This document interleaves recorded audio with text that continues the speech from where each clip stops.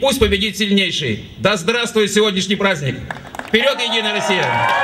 Так победно и торжественно начинается седьмая спартакиада местных отделений единороссов, победителей окружных соревнований. Настроение всех бодрое, желание победить сопутствует каждой команде, так что патриотический настрой чувствуется во всем. Найди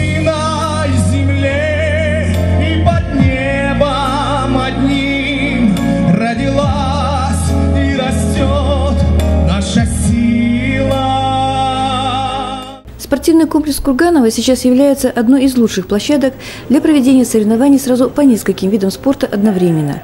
Обзорная экскурсия по его территории дает возможность председателю правительства Свердловской области Анатолию Гредину и министрам убедиться в этом. Такое внимание к спортивным объектам со стороны правительства и депутатов законодательного собрания не случайно. Единороссы начали сразу несколько проектов по области, каждый из которых направлен на развитие как массового спорта, так и спорта высших достижений. на этой площадке да, мы не только э, показываем некие достижения да, в разных видах спорта, но и, безусловно, формируем командный дух партии «Единая Россия». И я уверена, что «Спартакиада» дает возможность нам действительно обеспечить залог э, побед единороссов. Это очень важно еще и потому, что, как правило, в «Спартакиаде» участвуют и депутаты законодательного собрания, и главы территорий. И это очень важно для того, чтобы э, действительно создать имидж, положительный имидж здорового образа жизни и массового спорта. Анатолий Гредин и сам подает пример, как надо поддерживать в уральцах интерес к спорту и здоровому образу жизни. Программа по развитию спорта на 2011-2015 годы уже войдет в областной бюджет со следующего года. Поэтому сейчас нужно вкладывать средства не только на борьбу против пьянства или табакокурения, но и строить больше спортивных площадок во дворах и школах, укреплять материально-техническую базу, вводить третий урок физкультуры.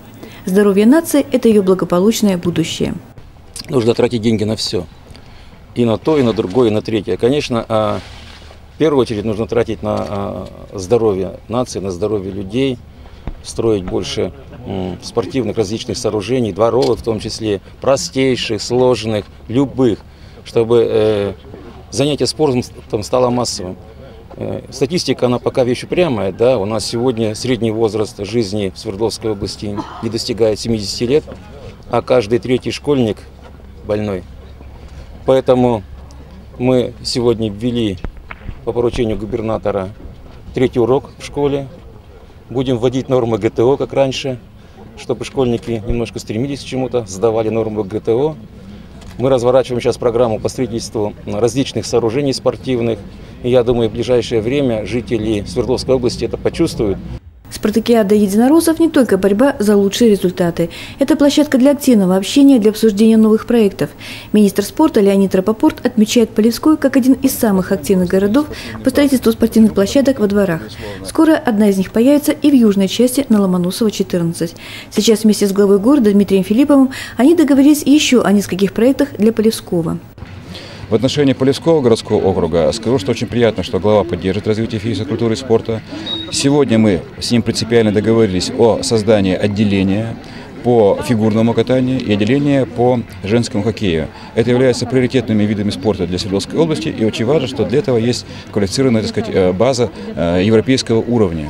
Я уверен, что вот усилиями значит, партии «Единая Россия», усилиями значит, э, муниципальных образований мы сможем решать те вопросы, которые стоят поставлены стратегией 2020 развития физкультуры и спорта в Российской Федерации. И очень хорошо, что э, много людей э, занимается спортом и популяризи- популяризирует занятия спортом. Но у нас по Полеском действительно очень много спортивных проектов, которые мы уже сделали и которые мы планируем сделать. Действительно, занятие спортом – это на самом деле здоровье. Поддерживает намерение поличан и Александр Серебренников, заместитель председателя Палаты представителей Законодательного собрания. Сам бывший спортсмен Александр Серебренников и сейчас помогает юным спортсменам стремиться к высоким результатам.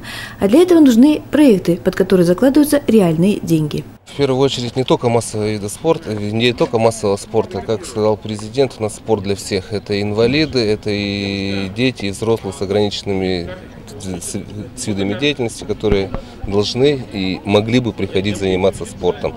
Надо начинать с э, детских площадок, с игровых площадок. Вот у нас пример есть, Полевском мы такие уже сделали. Но вот сейчас мы обсуждаем вопрос с главой города, чтобы сделать, у вас в Курганово есть э, два ледовых корта, чтобы сделать на базе детской спортивной школы отделение хоккея и фигурного катания. Полевчанин Игорь Вулканов баскетбол считает лучшим способом учиться лидерским качествам. Сегодняшние соревнования единороссов нравятся ему своей организацией и уровнем подготовки самих спортсменов. Победить, конечно, всем хочется, так что будем стараться. Действительно, уровень очень высокий. Э, все, все виды спорта очень э, проводятся организованно и очень много народу.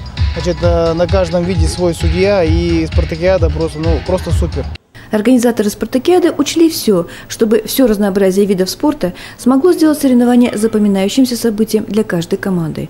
Оказаться на высоте здесь может каждый, хотя вместе с чемпионами и профессиональными спортсменами соревнуются и любители. Чемпион мира по гиревому спорту из Серова Сергей Пономарев называет спорт средством борьбы со старостью. Сам он начал заниматься гирями 10 лет назад, и с этого момента у него начался новый, самый интересный этап жизни. В городе культивируются гири. Это такой вид спорта, который пришел от наших отцов. Мы очень часто вспоминаем то, что делали наши отцы. Вот, например, э, мой отец э, занимался штангой, 17 лет проработал кузнецом. То, что он делал когда-то, я, чемпион мира, сейчас сделать не могу. Есть один человек в мире, только который может это повторить, дедовец Украины. Чемпион мира по лыжным гонкам и депутат областной думы Сергей Чепиков – инициатор проекта строительства за счет федеральных средств физкультурно-оздоровительных комплексов 2011 года во всех городах области. Чтобы развивался спорт в селах, это, конечно же, нужна, должна быть инфраструктура соответствующая. Сейчас мы планируем на 2011 год много строить спортивных объектов. Это будет и футбольные поля, где-то около 20 футбольных полей, будет мини-футбольных полей построено по нашей области. Также физкультурно-оздоровительные комплексные. Единая Россия активное участие в этом во всем принимает. И я думаю, что так поступательно мы все-таки улучшим нашу спортивную инфраструктуру. Хотя Полевской в общекомандном зачете показал всего четвертый результат, зато дух азартной борьбы и командной работы оказался лучшим достижением. Эльмира Самохина, Алексей Ионов из спортивного комплекса Курганова для новостей нашего города.